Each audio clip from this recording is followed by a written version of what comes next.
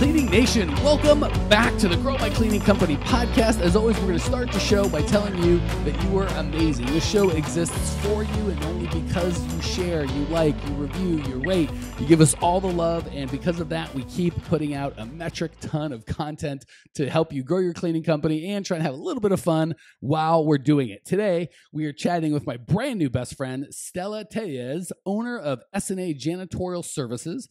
SNA has been serving is another Arizona person. I'm so excited. Never gets to talk to people in Arizona, but this is my friend to the south or east. I can't. I think south in Tucson, Arizona. They've been doing commercial cleaning for the last couple of years. Stella, welcome to the show. Well, thank you, Mike. I'm excited to be here with you. Excited to have you, sister. So, when did you lose your mind and decide it would be a good idea to to become to get into the commercial cleaning business? It was probably a couple months before um, February of 2015. Um, my husband, you know, had retired from the service. He went back as a contractor. He wanted something other to other than IT things to do, and he said, "What is it that we could do, baby?" And I said, "You know what? Let's try a cleaning company." And that's where it all started. I love that story, and we yeah. If I if I was you, I would have that on my way. I'd have that somewhere. That's a cool story. I think that I would I would absolutely share that. Well, what's going on in your world today that hopefully I can give you a little help with? Well, I'm a little stuck, Mike, trying to get um, businesses. You know, I picked I picked three niches, and out of those three niches, I'm trying to go out there, finding the right people to educate them on um, how to hire a cleaning company and what is it that they're looking for in a cleaning company. Most of them don't know. Okay. So, just out of curiosity, because I am a cleaning company nerd, what three niches did you pick? Uh, I picked dental. I picked um, pet places. I picked um, banks. All right. Dental, I love because there's lots of them and they absolutely need cleaning. What's a pet place? I don't that. What's that mean? Uh, veterinarian. Um, Got it. So a lot of vet places here in Tucson. I don't. I'm sure there's a lot in Phoenix as well. But um, yeah, they're hospitals for your animal. Yeah, that's a great idea because I'm sure they have very specific needs. And then same with banks, I'm sure they have very specific needs that are different than the other two. So first and foremost, I would encourage you to pick one and start with that. Um, not that you won't accept any work from anyone else, but let's put a you know uh, light when focused can cut through 10 inches of steel when diffused is nothing. So I really want to encourage you to focus, focus, focus. You'd be shocked at how well you'll do picking one of those niches uh, and really crushing it as opposed to trying to do three at one time.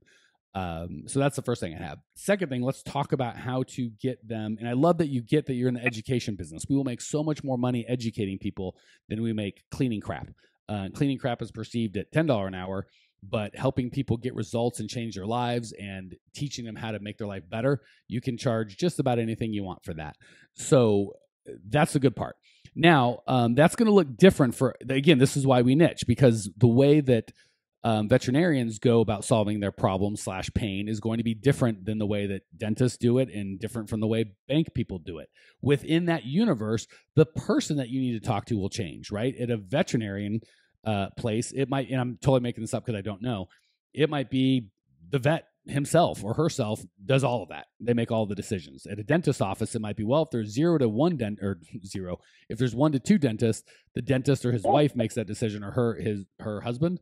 The dentist or their spouse makes that decision. But generally, from three to five, they've got an office manager. Don't know. Bank, same thing. Might be well at certain banks they've got they make that's made on a local level. Other banks it's made on a national level. There's all these kind of nuances that you need to get.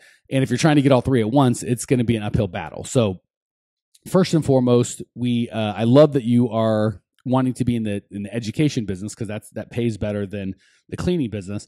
But again, we've got to get um, we've kind of got to get we need to know their pain and then we can solve it. So let's just pick one. Uh, you don't have to pick this forever, but let's just pick one and talk about how to get them uh, to know, like, and trust you. So you tell me which one, if you had to decide right now, which would it be, and we'll we'll talk about them. I believe it would be dental. Okay, so let's do dental. And you might find, and the beautiful thing about dental, this is shocking. I read somewhere there are more dentists in the United States than McDonald's. So a lot of people are like, oh, how many dentists could there be? You would be shocked. I'll bet you in a town like Tucson, which isn't that big, there are probably hundreds, eh, maybe not thousands, but there are hundreds of dentist offices.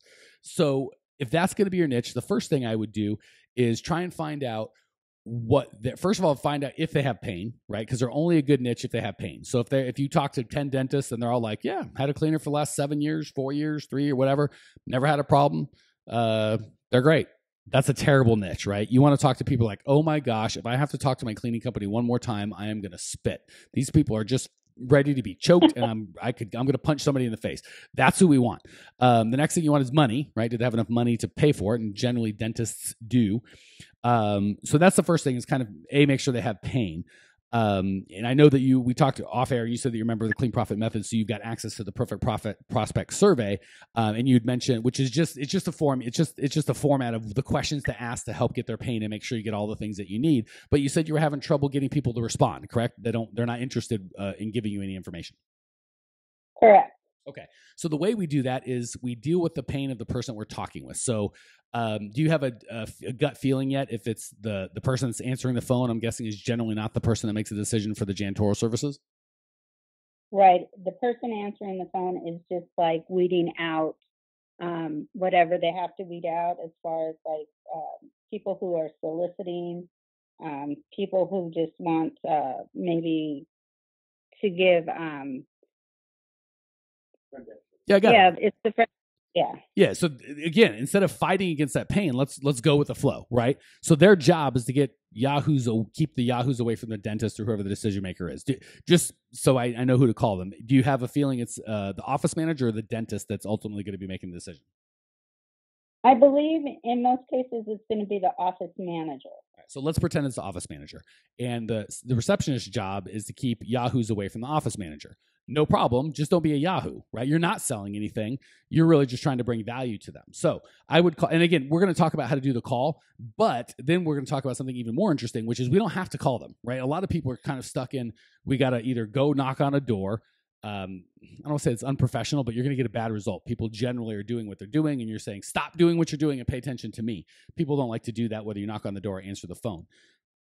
So um, the good news is all you have to do is not sound like a salesperson. So don't call up and say, "Hi, my name is Stella. I'm with um, SNA Janitorial Services, and I was just wondering if you had five minutes to." Just by my tone, even if you didn't speak English, you would go, "Oh, I know this person's a salesperson, right?" That I'm assuming in every language, salespeople have that same sing-songy like voice. If you called and said, uh, "Hey, this is Stella. What's up?" I promise you, they're not going to hang up. They're going to go, "This is Mike. How can I help you?" You go, "Well." I don't know if I can. You can't help me because I'm way beyond help. I need a huge favor, and you're probably not. You're probably all out of favors today, right? Do you see how I do? I you may like that or not like it, but I do not sound like a salesman, right? Is there any fear that maybe a salesman, maybe, but not like any salesperson they've heard? They're gonna probably go, well, what what do you want? Say, well, I need 10 minutes of the office manager's time, but your job is to keep dirty salespeople out of the thing. But I'm not a dirty salesperson, but you don't know that. So where do I go from here? Do you see how I'm just talking to them like a human being, not like a salesperson? Um, I would yeah. say stuff like, if you were me, what would you do what charity do I got to give to? Do I got to bake fre- fresh cookies? I literally just need seven and a half minutes of asking this guy or gal questions. And if I try and sell one thing, I give you permission to come in and punch me right in the face. Like if you just talk to them like that so they understand you're not selling anything, and hey, you're fun, right? That's that. And I promise yeah. you, they love cookies and food and chocolate. So if you bring food, you're almost always welcome. So that's how I would do that if I was going to go about it by phone. That said, I wouldn't go about it by phone.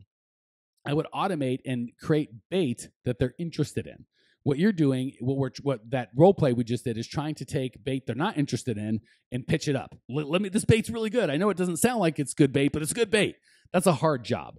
Um, I would create something that they are interested in, or you think that they're interested in, and put it out there for them. So if I'm a dentist, I probably am interested in um, more patients. I'm probably interested in happier patients. I'm probably interested in. I'm trying to think of other things that I'm interested in. Uh, and you can even ask them. All right, fine. Don't don't talk to me. He's not going to talk to me. If I had to go create something that that he absolutely had to have, what would it be? What's his number one?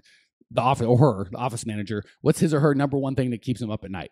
And if whatever they say, let's create something like that. So for me, it's a podcast, right? Instead of calling you, hey Stella, this is Mike. I'm a really good coach. You should give me money, and I'll help you grow your cleaning company almost guaranteed I'm going to get hung up on.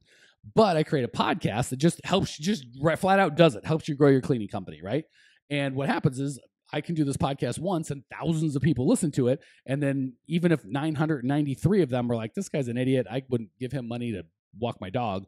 Um, the seven, the girl, I'm totally into it, and that's more than I can handle for work. So I just instead of asking you how can I help you, I just start helping you. So we're going to do the same with dentists, and there's a hundred ideas. We could send them email on here's ten quick ways to build a practice. Um, we could do a lunch and learn where we feed them and give them a presentation on you know how health how how uh, how accepting or not accepting uh, health insurance can kill your practice.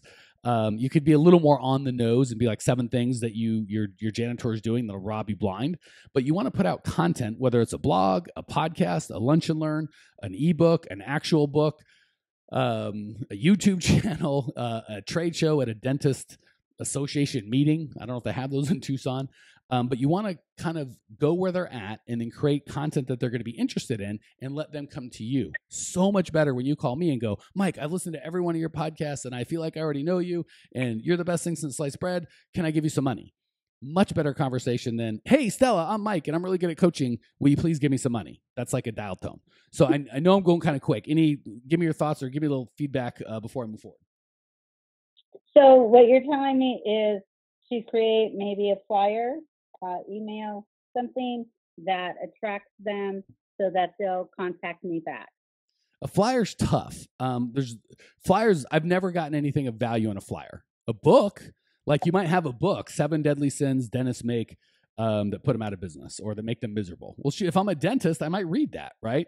But if it's a flyer, um, that's the sales that's sales material. So I'd put it as a book or an ebook or a white paper uh, find out what dentists read right there you know if it's you know white paper is probably the what i titled or a book um, and yes i would create things that are of value to them that get them attracted to you. The good thing is dentists are terrible marketers. Uh, just by knowing, just by listening to the show, you can probably give them some ways to make their or ten ways to get um, five five star reviews on Google in the next ten days. You could probably figure out a way to help your dentist do that, and he'd be interested in that if you if you wanted, you could even say, "Hey, for every one of our new customers, I'll tell you how it's to hire us for your janitorial service, or just let us bid for everyone that you bid. We get you five uh, five star, or let us get you five five star reviews first, and then we'll then we'll then we'll come bid your thing. You want to give value in advance. Most people call and say, "Give me something. Let me bid. Tell me, you know, help me. Give me. I want to grow my business. You help. Tell me how I can do what I want to do." Um, and people aren't interested in that. But if you call him and say, "Hey, how do I help you do what you want to do?" They're much more interested in that. So I would find a way to give value in advance. For me, it's a podcast. For you, it might be let me do a free cleaning. Let me, like I said, get you five five star reviews from your customers. And all you have to do is call their customer and say, "Hey, I'm with Dr. Rhodes' office. Um, did you have a good Did you have a good experience? Um, if I come out there and give you a hug, could I get you give him a good review? I mean, you could find a way to, to get good reviews for Dr. Rhodes. Um, let me give you a $10 gift certificate is whatever. Um, so the big thing is you want to give value in advance, right? With a podcast, I do a bunch of, I don't tell you I can coach you. I just do a bunch of coaching and people are like, I like that. So instead of telling dentists you can, uh, you can help them try and help them right? Say hey let me give you a free cleaning. Let me uh let me get you some reviews. Let me get you a new customer. Find a way to serve them and then let them come to you. And if you can serve enough people you you'll be you'll be beating them off with a stick. They they'll line up to to do business with you. I know it's a big concept but it's it's so much easier to put out things that are attractive to to put out good bait and let them come to you as opposed. I mean, it's the difference of fishing at the side with good bait versus trying to jump into the lake and try and grab fish. Like it's, it's you could do it. It's possible. It's just it's a bear and you get cold doing it. Um, questions, comments, rude remarks. No, no, no. That sounds good. I mean, I know how to add value to people's lives. I do it all the time. So that would be an easy thing. It's just um, then after I add that, then that's when I go in and I can have them do that survey that we have? Well, the survey is to find out what they what their pain is.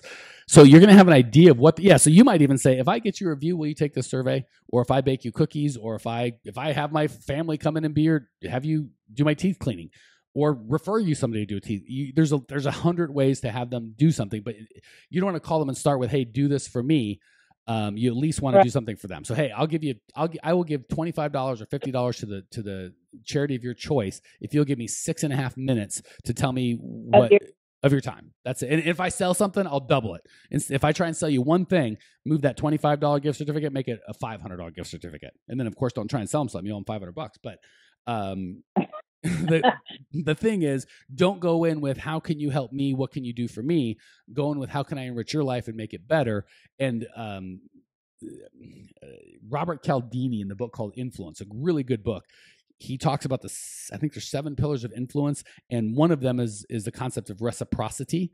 Uh, and the Hare Krishna folks built an entire or financed an entire religion on this.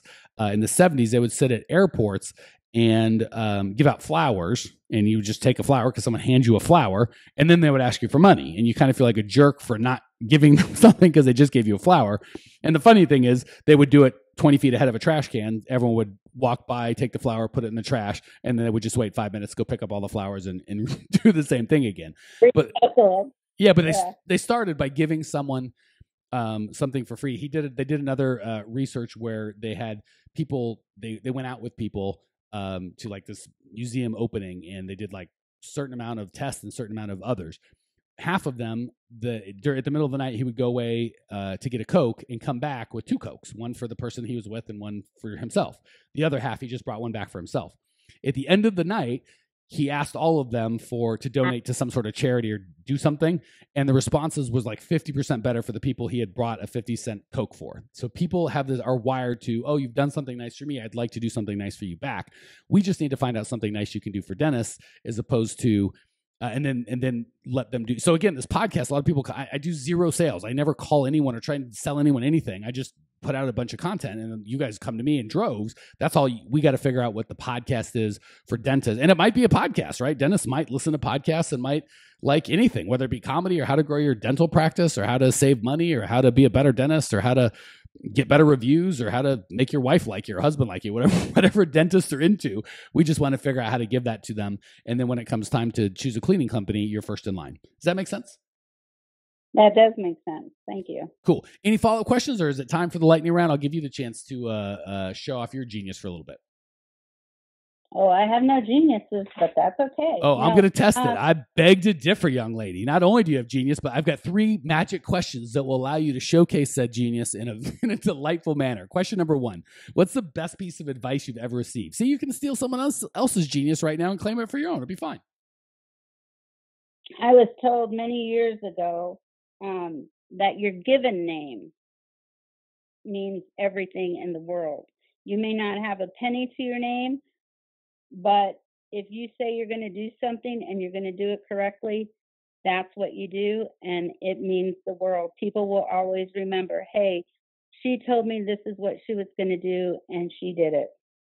I got to say, sad state of affairs, but the truth of the matter is, I have found in both residential and commercial cleaning if you just do what you say you're going to do, you're better off than I mean this is sad but 90 95% of the folks out there in terms of we'll be here at this time, will whatever. You just keep your word. You are in a class by yourself just by not being of low integrity. Sadly, that's absolutely true. And this is not a better time in the world to be a person of integrity because you stand out like a sore thumb in a very good way.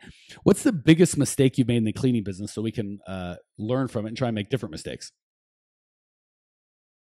The first thing I did was um, going in and talking to a franchise um, place that they sell you a franchise mm-hmm. and they offer you the world and they give you nothing in return. And that's a terrible you, sales thing, by the way. We offer the world and give you nothing in return. They should really reword that. You know, so um, that was the biggest mistake I ever did.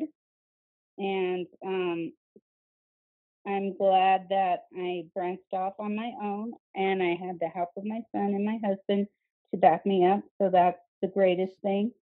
Um, let me um ask you. Let me ask you a quick follow up question, and don't name the, the name of the uh, the franchise because we're certainly not here to, you know, say who's good or bad. But I know there's other people in that situation. They get scared to go out on their own. How'd you? Can you just give us a 60 second kind of overview of how you made that transition from franchisee that wasn't working to doing your own thing?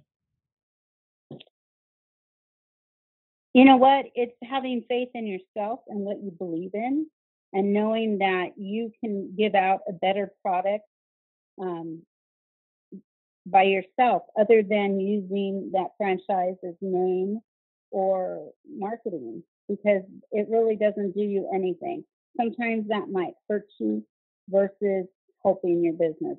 So being truthful, honest, and doing a great job and going out there, people see that and they say, hey, you know, we have a card. And I always give them my business card because that's, we're open, that's our business. And we're the ones that are providing this service for you. Okay, cool. So it's a, it's a, it's a jumping into that big pool of water with two feet and just going for it. All right, love it. That's fantastic feedback. Last question: What's one idea Cleaning Nation can put into practice right away? Something easy to implement um, that can improve their lives or their business, even a little bit. Just something easy to implement, kind of quick. You know what? I think when I look at the the Facebook page, I see a lot of people asking for the answer. They want they want somebody else to figure out the problem for them and give them the answer. I say research it, take a few extra minutes. Um, find if you can't do it yourself, find somebody who can that's working for you, and uh, go from there. Because what might work for one will not work for the other. Yeah, it'd be nice if there was just a one size fits all answer. I could just do one long podcast and just that'd be the end of it. But it really does depend who you are, where you're at, where, what your goals are, what you're trying to accomplish. Um, so that's that's great feedback. Is you got to be able to contextualize feedback given from other people and kind of know how that fits in your life and your goals. Um, Stella, thank you so much for joining us and uh, sharing your story, your passion, your desire to grow. I appreciate you. I know the Clean Nation appreciates you. Clean Nation, if you want to check out Stella's show notes page along with everything I know about how to grow a cleaning company. There is so much cool free stuff, paid stuff at growmycleaningcompany.com. I actually just just put up a video that's like a long on uh, on demand video training that if you like this podcast or uh, if you're watching us on YouTube, you're going to love that. growmycleaningcompany.com. Check it out now. I will see you there. Congratulations! You are now 16% smarter. Still can't get enough cleaning goodness? Go to www.growmycleaningcompany.com for more of the good stuff. Ever want to be rich and famous?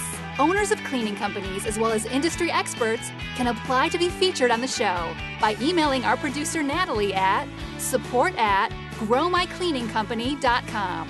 Until then, don't miss out on all the latest cleaning industry lovin' at www.growmycleaningcompany.com. Check it out now.